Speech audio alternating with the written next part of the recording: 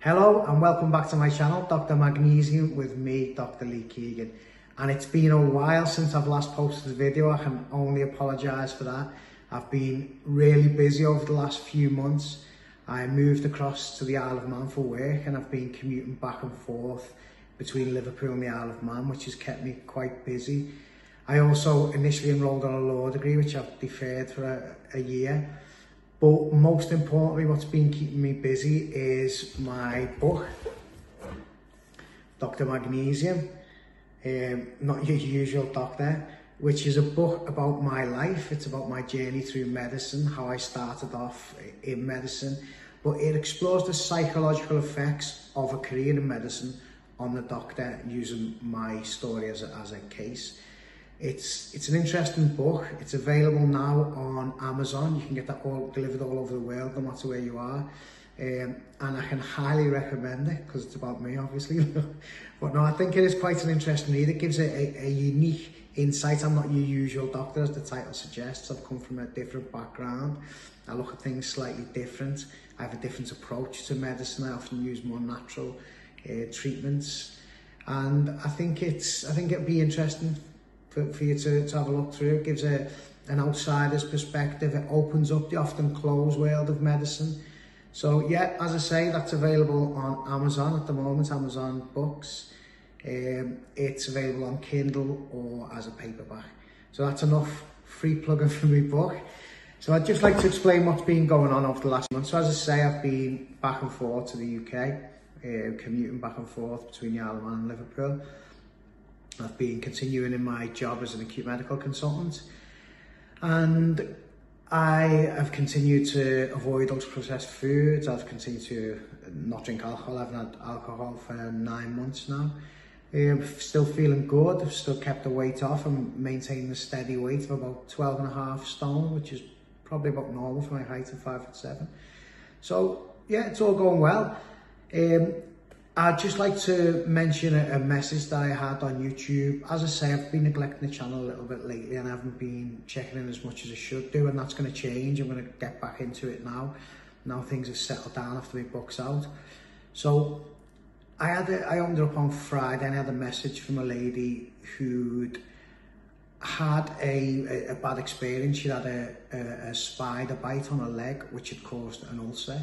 I think she'd got a, the leg infected and that spread, and she ended up with seven ulcers on the leg.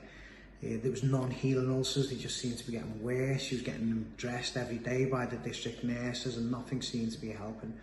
So this lady watched one of my videos back in January. I think it could have been an interview I'd done with Chris Thrall and then she went on to, to look through the channel and look through some of the videos and she decided that she was going to have a trial off UPFs, completely avoiding UPFs. She did that and as a result her leg ulcers have completely cleared up. She's found that there's complete resolution to the leg ulcers.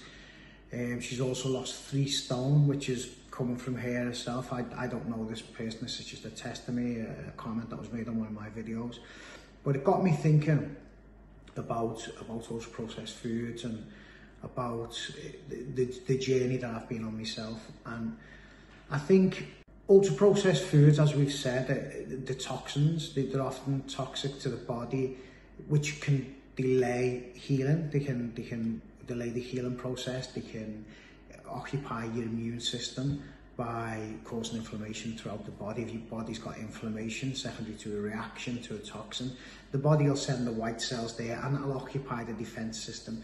If the body's defense system is occupied by a chronic inflammation secondary to exposure to these foods, then opportunistic infections, such as this lady was having with the, the open wound, um, was allowing breaking the barrier of the skin, which normally protects against inf infection. But this was allowing entry for bacteria to get in, to, to multiply within the skin. And because the body was occupied with another chronic inflammation, inflammatory process, it wasn't able to send the resources that were required to fight this infection. And that got me thinking a lot about um, infections and, and, and the, the causes of, of illness in people who do have a diet high in those processed foods. And I think this is definitely something that, that we see through, throughout the winter the winter months, especially when we had the COVID pandemic over the last few years where people were obsessed with mask wearing, vaccinations and uh, this social and we closed the economies of the world down. And I think if we'd have concentrated on health at that time rather than pathology, we could have dealt with the with the whole situation a lot differently. We wouldn't be in the mess that we're in now, um, in terms of patient numbers and social beds being taken up, unable to discharge elderly patients from hospital. We wouldn't have had the cancer presentations that we're having because of the delayed treatments, um, the missed um, routine checkups and the missed two-week checkups that we have in the UK. So I think, for me, the, the way to go throughout the COVID pandemic, as I said all along, anybody who knew me throughout that time always followed me on uh, Facebook, etc. My whole philosophy was to get healthy, to focus on health, weight loss, good diet, cutting out ultra processed foods essentially. I, at that time, I hadn't really discovered what ultra processed foods were, but I was I was a big advocate for eating healthy, eating fresh foods, eating whole foods, trying to get plenty of vitamins in. And I think now looking back on it, the, the reason that would have worked is because of what we've just said with this lady. You've got the chronic inflammatory process, you, your immune system's being taken up fighting this chronic infection or chronic inflammation.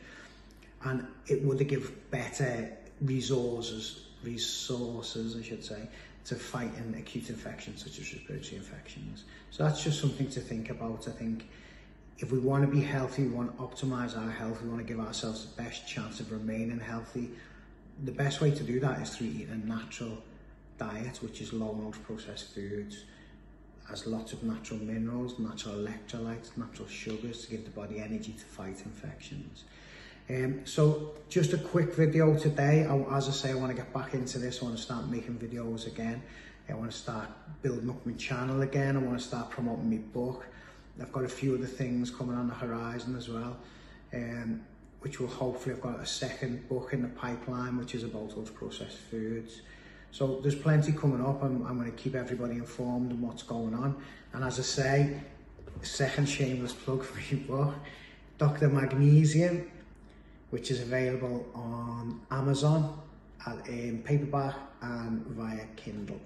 So thank you again. I'll get my guy who edits the videos for me, Prometheus Beard, to put a link for my Amazon um, page into the into the comment section on this as well so that we can access that easily. So I would like to say thank you for watching. I'm sorry it's been so long for me to get back. I've just been absolutely chaotic in, in, in life at the moment. So we're going to get back going at it. We're going to spread the message, spread the word, get the world healthier, one person at a time, one viewer at a time. Okay, thank you very much for watching and I hope to see you all again soon.